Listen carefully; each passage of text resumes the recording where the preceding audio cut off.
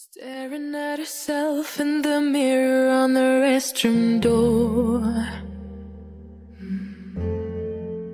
Voices in her head that mirror what she's heard before.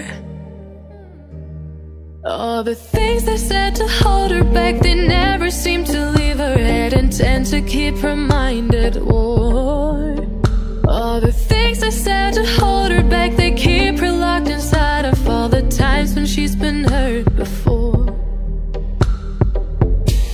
Her eyes are swollen as she tries to hold.